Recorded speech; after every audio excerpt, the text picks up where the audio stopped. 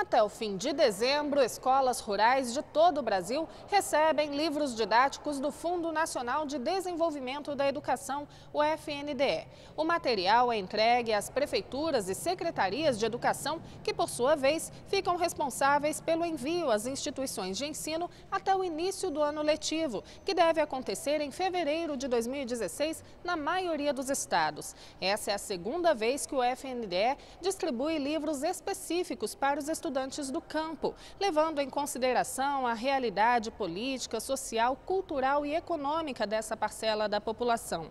Ao todo, 2 milhões e 600 mil estudantes do primeiro ao quinto ano do ensino fundamental de quase 60 mil escolas vão ser beneficiados. De Brasília, Ana Gabriela Salles.